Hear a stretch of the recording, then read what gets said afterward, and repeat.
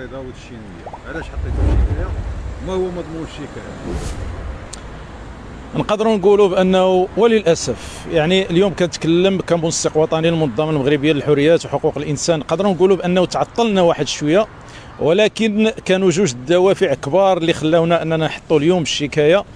هو الدافع الأول هو أن السب والشتم اللي قام به ولد الشينويه في حق الأساتذة وفي حق المحامين المغاربة اللي دائما ما كنلقاوهم هما اللي كيوقفوا بجنبنا. في كل مشكل كنقدروا نتعرضوا ليه. وكذلك لتنظيف الميديا المغربية من هذه النماذج للأسف الشديد التي تسيء للمجتمع المغربي وتسيء للأبناء ديالنا.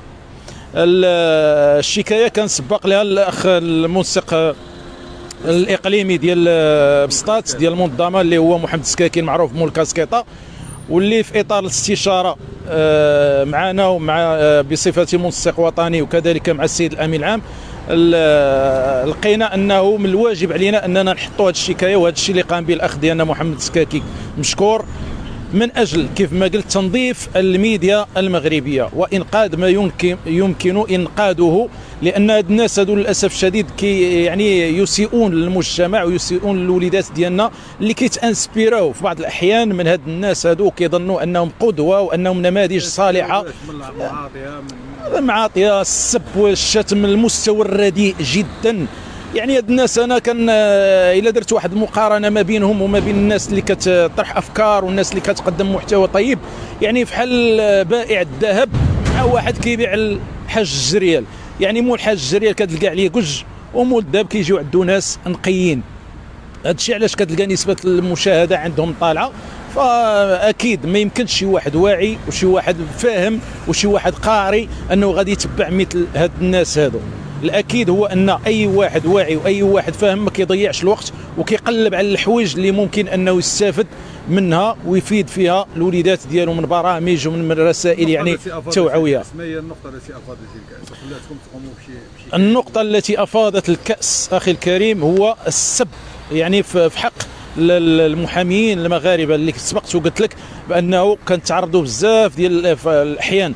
حنا كحقوقيين المضايقات وهما الوحيدين اللي كنلقاوهم يعني كيوقفوا معنا وكيآزرونا لأنهم كيعرفوا مدى الوطنية ديالنا ومدى الحب ديالنا لهذه البلاد وأن الرسائل ديالنا دائما من أجل أن بلادنا تزيد لقدام الدافع الثاني هو أن هاد الناس هادو تماداو في الشيء اللي غاديين فيه تماداو في بزاف ديال الحوايج تسيء للوليدات ديالنا وتسيء للمجتمع فإحنا إن شاء الله هاد ولد الشينوية ما هو إلا رسالة غادي نبعثوا من خلاله رساله لبزاف ديال ولاد الشينوية كاينين في المجتمع المغربي للأسف الشديد اللي كيسيئوا للوليدات ديالنا.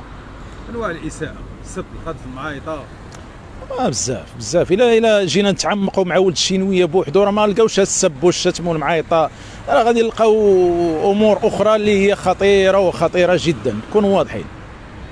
الخطورة ديالها فاش كتكون؟ الخطورة ديالها هو أنه ممكن مستقبلا أن نلقاو الشكل ديال ديال ولد الشينوية في أشكال ديال ديال ديال الجيل المقبل.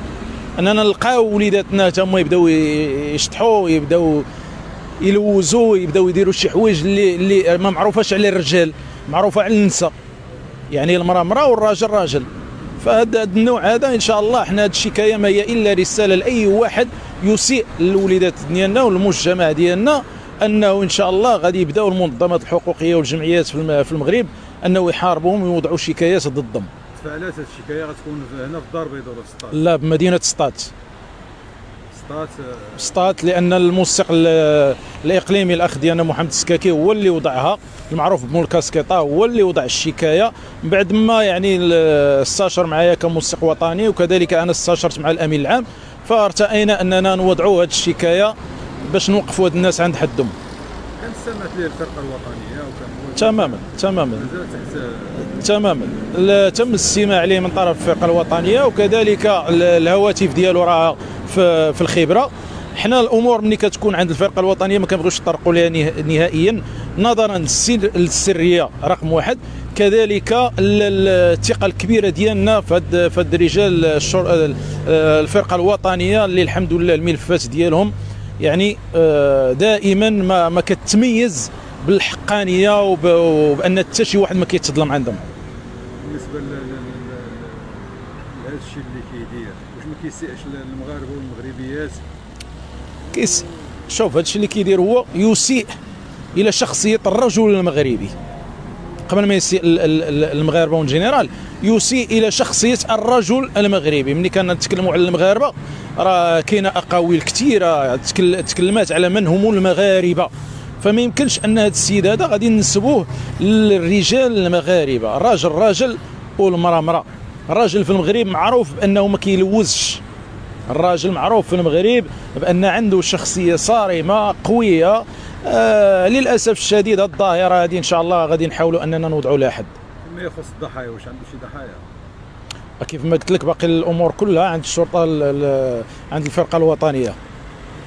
المتابعة خصها تكون ضحايا. المتابعة إحنا درنا الشكاية.